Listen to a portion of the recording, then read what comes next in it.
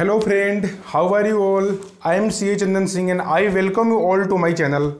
Okay friend, as I promised to you all, I am going to make a GST educational video. Okay friend, and this video will not only beneficial for educational purpose but also also beneficial for the professional life. Okay, okay friend, and my first video will uh, is already uploaded on my YouTube channel and in today's session i'll going to discuss i'm going to discuss about the about the import applicability of gst on import okay friend so today we will discuss both uh, import of goods and import of service on which gst will be applicable okay friend so before starting our session i request you all to subscribe my channel and share this video to maximum number of persons so that so that many of my friend can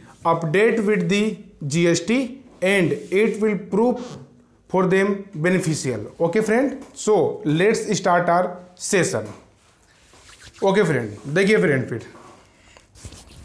one minute uh, just let me adjust my mic okay okay friend see here देखो दोस्त actually में अगर हम बात करें GST की GST की अगर हम बात करें तो जीएसटी का जो अप्लीकेबिलिटी है तो GST is applicable on the supply किस पे अप्लीकेबल दोस्तों जीएसटी सप्लाई के ऊपर।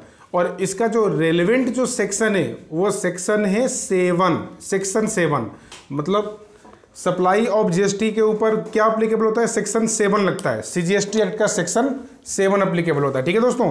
तो अब हम बात करते हैं इंपोर्ट की। तो इंपोर्ट को हम लोग कैसे टैकल करेंगे? तो देखो इंपोर्ट में सबसे पहले मैं बात करूँगा आप लोगों की सर्विस के बारे में। तो दोस्तों, याद रखिएगा, अगर इंपोर्ट ऑफ़ सर्विस की हम बात करेंगे तो इंपोर्ट ऑफ़ सर्विस के केस में केवल दो चीज़ें चेक की जाएँगी। एक with with consideration and next is without consideration okay friend तो if we talk about the with for consideration if import is for consideration if import of service is for consideration then what will be the case let see तो friend अगर हम अगर हम import of service को for consideration करते हैं तो याद रखिएगा, ये इंपोर्ट ऑफ़ सर्विस चाहे आपके बिज़नेस से रिलेटेड हो या बिज़नेस से रिलेटेड ना हो whether it is in the course of business और नोट ओके तो इससे कोई फ़र्क नहीं पड़ता। अगर आप अपने पर्सनल कंजम्पशन के लिए भी इसको लेने के, के आओगे तो याद रखिएगा यहाँ पे जीएसटी अप्लीकेबल हो जाएगा। कोई भी रिलैक्सेशन आपको नहीं दिया गया है, ठीक है? तो यहाँ पे आप बिज़नेस के लिए यूज़ करो या नहीं करो। अगर यहाँ पे कंसिडरेशन इन्वॉल्व है तो दोस्तों, ये इंपोर्ट ऑफ़ सर्विस जो होगा, इसके ऊपर जीएसटी अप्लीकेबल हो जाएगा। अभी मैं इसके वैल्यूएशन और टैक्स और इसके क्या रेट लगने वाला उसकी मैं कोई बात नहीं कर रहा। I just discuss about the applicability of GST on the import okay friend let's be clear next अब देखिए, अब हम बात करते हैं विदाउट कंसिडरेशन विदाउट कंसिडरेशन तो विदाउट कंसिडरेशन की दोस्तों, अगर बात करोगे तो देखो, जो सर्विस है ना फॉर कंसिडरेशन फॉर कंसिडरेशन की तो वो तो सेक्शन सेवन के अंदर ही आ जाएगा। सेक्शन सेवन का सेवन का क्लोज बी सेक्शन सेवन का क्लोज बी ठीक है? लेकिन, अब अगर बात करोगे विदाउट कंसिडरेशन अगर विदाउट कंसिडरेशन की अगर आप लोग बात करोगे तो ये मिलेगा हमें schedule one section seven read with schedule seven. I repeat section seven of C G S T act read with schedule one read with schedule one तो ये क्या बात करता है? तो अगर हम इंपोर्ट ऑफ़ सर्विस को विदाउट कंसिडरेशन करते हैं तो याद रखिएगा, यहाँ पे जो मेन इंग्रेडिएंट्स है, वो है बिटवीन दी रिलेटेड पर्सन होना चाहिए। ओके किसके बीच में होना चाहिए? वो होना चाहिए बिटवीन दी रिलेटेड पर्सन और इसके साथ दूसरा इंग्रेडिएंट्स जो है वो क्या है? तो पहला इंग्रेडिएंट्स तो ये हो गया कि बिटवीन द रिलेटेड पर्सन होना चाहिए और दूसरा इंग्रेडिएंट्स दोस्तों ये है कि ये होना चाहिए specifically for the purpose of business specifically for the purpose of business तो आप लोग ये बात दिमाग में डाल लो। अगर इम्पोर्ट ऑफ़ सर्विस किया जाता है किसी रिलेटेड पर्सन के थ्रू लेकिन लेकिन, अगर वो इंपोर्ट ऑफ़ सर्विस हमने अपने पर्सनल कंजम्पशन के लिए किया है तो दोस्तों याद रखना GST will not applicable on it okay तो अगर हम इंपोर्ट ऑफ़ सर्विस करते हैं without consideration between the related person या फिर हम अपने किसी अदर एस्टेब्लिशमेंट जो कि आउटसाइड इंडिया लोकेटेड है, उसके थ्रू भी अगर हम इंपोर्ट ऑफ़ सर्विस करते हैं, लेकिन जो इंपोर्ट करने का, जो हमारा मेन मकसद है वो है for the business then GST will be applicable on it okay schedule one read with section seven clear हुआ? होप सो आप लोगों को समझ में आया होगा। अब हम बात तो दोस्तों इंपोर्ट की अगर हम बात करें सर्विस इंपोर्ट की तो सर्विस इंपोर्ट की दोस्तों अप्लीकेबिलिटी की बात करोगे तो यही दो अप्लीकेबिलिटी है।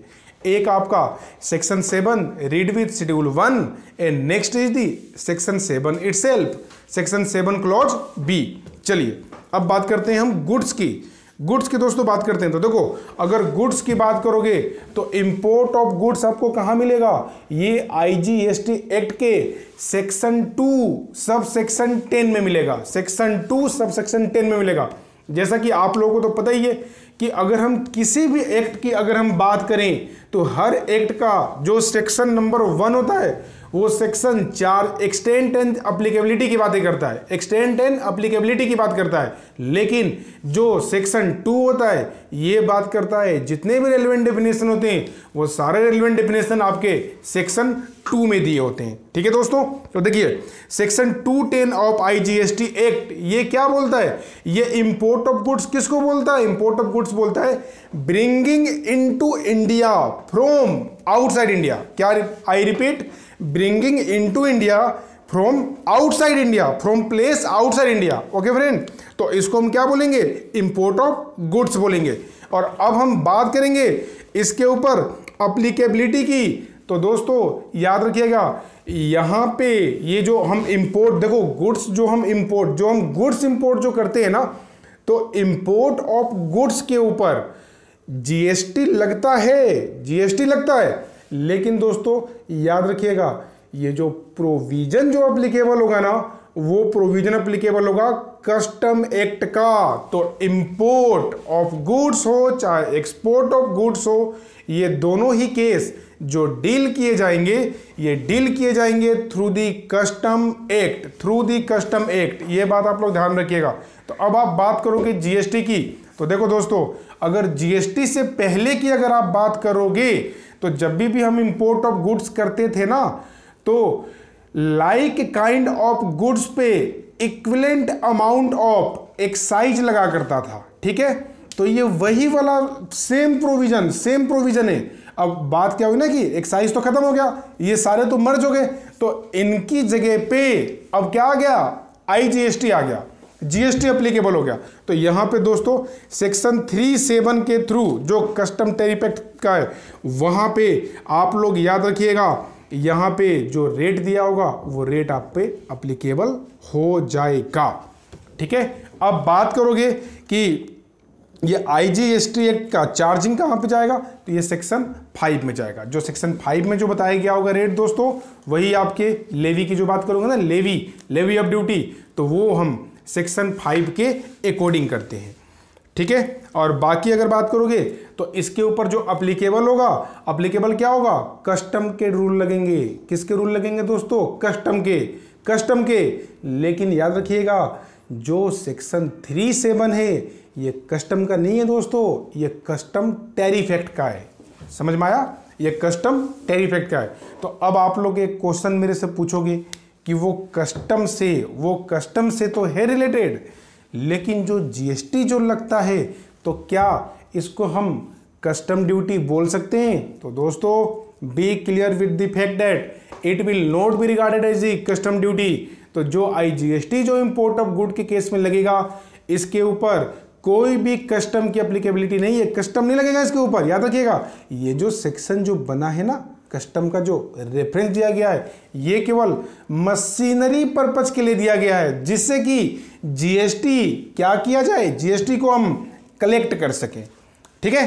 तो यहाँ पे इंपोर्ट ऑफ़ गुड्स में दोस्तों सेक्शन थ्री सेवन के अंदर जीएसटी लगेगा, लेकिन इससे रिलेटेड जो भी प्रोविज़न होगा, वो सारे प्रोविज़न आपके कस्टम एक्ट के लगेंगे। ये आप लोग ध्यान दीजिएगा। ठीक है दोस्तों? अब कुछ एक दो चीज़ें मैं एक्स्ट्रा थोड़ी चीज़ें आपको बता देता हूँ मैं। देखो अब हम बात करते हैं प्रोजेक्ट इंपोर्ट की, कि प्रोजेक्ट इंपोर्ट के ऊपर क्या आईजीएसटी लगता है दोस्तों? क्या प्रोजेक्ट इंपोर्ट के ऊपर आईजीएसटी लगता है? तो दोस्तों, याद रखिएगा, जो प्रोजेक्ट इंपोर्ट होता है, वो heading number 9801 I repeat project import will be classified under heading 9801 and IGST will applicable at the rate of 18 percent तो इसका मतलब प्रोजेक्ट इंपोर्ट के ऊपर आईजीएसटी लगेगा 18 परसेंट के हिसाब से और क्लासिफिकेशन हेडिंग नंबर 9801 के अंदर होगी, ठीक है? अब बात करते हैं हम लोग GST on high sea sale high sea sale तो दोस्तों, अब आप लोग बोलोगे कि यह हाई सी सेल क्या होता है? तो दोस्तों, देखो, अब होता क्या है ना, जैसे कि अब मान के चलो कि अगर मैं एक इंपोर्टर हूँ, ध्यान से सुनिएगा, मैं इंपोर्टर हूँ और मैं गुड्स को इंपोर्ट करके लाता हूँ इंडिया में तो मैं तो बायर भी हूँ। हूँ ना बायर बायर ही तो इंपोर्टर होता है। तो जब मैं गुड्स बाहर लेकर के आऊँगा ना तो मेरे पास क्या ऑप्शन होंगे? या तो मैं उसको क्या करूँगा? या तो वेयर हाउस में for the time being deposit करूँगा, और या फिर उसको खुद के कंजम्पशन के लिए लेके चला जाऊँगा। कंज्यूम करने के लिए मास प्रोडक्शन ऑफ़ इंडिया का पार्ट बना दूँगा उसको मैं। लेकिन दोस्तों हाई सी सेल में पता क्या होता है? गुड्स जब ओरिजिन कंट्री से जब डिस्पैच होता है, लेकिन लेकिन इंपोर्ट कंप्लीट होने से पहले इंपोर्ट कंप्लीट होने से पहले तो इंपोर्ट आप किसको बोलते हो? याद रखिएगा, जब भी भी कस्टम फ्रंटियर जब कस्टम फ्रंटियर को में जब आप एंट्री मार जाते हो तो वहाँ से इंपोर्ट आपका इनिशिएट होता है। वहाँ से आपका इंपोर्ट क्या होता है? इनिशिएट होता है। लेकिन इंपोर्ट कंप्लीट कब होता है? जब वो गुड्स आपका पोर्ट को क्रॉस कर जाता है। पोर्ट को क्रॉस कर जाता है, तब जाके इंपोर्ट कंप्लीट होता है। लेकिन दोस्तों हाई सी सेल में क्या होता है ना, कि यहाँ पे जो कंजाइनी होता है, वो इंपोर्ट से पहले ही इंपोर्ट कंप्लीट होने से पहले ही through the endorsement of title of the document of the goods ये क्या करता है, किसी और को दे देता है, किसी और को डॉक्यूमेंट ऑफ़ टाइटल दे देता है गुड्स का। तो दोस्तों, इस केस में याद रखिएगा क्योंकि यहाँ पे इंपोर्ट हुआ ही नहीं है। तो अब आप ही बताओ, जब इंपोर्ट ही नहीं हुआ तो क्या यहाँ पे किसी भी टाइप का कस्टम ड्यूटी या जीएसटी की बात की जाएगी दोस्तों? तो आंसर इज़ एब्सोल्यूटली नो यहाँ पे कोई भी जीएसटी नहीं लगेगा। तो याद रखिएगा हाई सी सेल के केस में कोई भी जीएसटी की अप्लीकेबिलिटी नहीं है, ठीक है? लेकिन अब आप बोलोगे, यहाँ तो अप्लीकेबिलिटी नहीं है। तो अप्लीकेबल होगा कब? दोस्तों, होगा ना? अब ये हाई सील वाला जो गुड्स है, अब ये तो सेकेंड बायर के हाथ में चला गया। ये तो चला गया सेकेंड बायर के हाथ में। तो जब ये सेकेंड बायर जब इसको पोर्ट से क्लियर करवाएगा गुड्स जो जो ये सेकेंड बायर जो होगा ना तो उस गुड्स से रिलेटेड जो भी डॉक्यूमेंट होगा, जो भी डॉक्यूमेंट होगा दोस्तों ओरिजिनल इन्वॉइस होगा हाई सी सेल का कॉन्ट्रैक्ट देगा detail of service charge commission ETC जो भी पे किया होगा, जो लास्ट बायर होगा, जो सेकेंड बायर होगा, ठीक है, वो प्रोड्यूस करेगा प्रॉपर ऑफिसर ऑफ़ कस्टम के सामने प्रॉपर ऑफिसर ऑफ़ कस्टम के सामने, और दोस्तों, इसके बाद इसके ऊपर आपकी अप्लीकेबिलिटी हो जाएगी, किसकी अप्लीकेबिलिटी हो जाएगी? जीएसटी की अप्लीकेबिलिटी हो जाएगी, ठीक है? जीएसटी की अप्लीकेबिलिटी दोस्तों हो जाएगी। ठीक है? ध्यान रखिएगा आप लोग। यहाँ पे जीएसटी फिर लगेगा। ठीक है? जब वो गुड्स क्लियर करेगा ना, तब यहाँ पे जीएसटी लगेगा। अदरवाइज़ कोई भी जीएसटी नहीं है इसके ऊपर। ठीक है दोस्तों? तो होप सो आप लोगों को समझ में आया हो अच्छे से। तो इसी तरीके से मेरे मेरे साथ दोस्तों बने रहिए। तो हुआ क्लियर आप लोगों को इम्पोर्ट अच्छा होप्स तो कि आप लोगों को काफ़ी अच्छा लगा हो। तो ये दोस्तों अप्लीकेबिलिटी ऑफ़ जीएसटी था on the import of service and import of the goods मेरी तरफ़ से, ठीक है दोस्तों? तो इसका आप लोग अच्छे से यूटिलाइज कीजिए, अपने नॉलेज को एनहेंस कीजिए। और दोस्तों, मैं जल्दी ही एक व्हाट्सअप ग्रुप तैयार कर रहा हूँ, मैं उसका डिटेल में फेसबुक पर शेयर करूँगा। जो भी लोग आप लोग इंटरेस्टेड हो तो आप लोग उसके अंदर अपना नंबर शेयर करें। तो नंबर भी दोस्तों, अब मैं जानता हूँ कि हाँ वैसे आप लोग तो अपना नंबर शेयर कर नहीं सकते, सबको डिस्क्लोज तो कर नहीं सकते। तो आप लोग क्या करना मेरे को प्राइवेट मैसेज कर देना फेसबुक के ऊपर। फेसबुक के ऊपर दोस्तों प्राइवेट मैसेज करना और वहाँ पे अपना मोबाइल नंबर दे देना और उसको मैं आप लोगों को, अपना जो व्हाट्सअप ग्रुप होगा उसके अंदर सबको मैं ऐड कर लूँगा और वहीं पे हम लोग अपने जीएसटी से रिलेटेड सारी बातें डिस्कस करते रहेंगे। ठीक है दोस्तों? तो दोस्तों, ये सेशन मेरा कंप्लीट होता है। होप्स आप लोगों को वीडियो काफ़ी पसंद आया हो।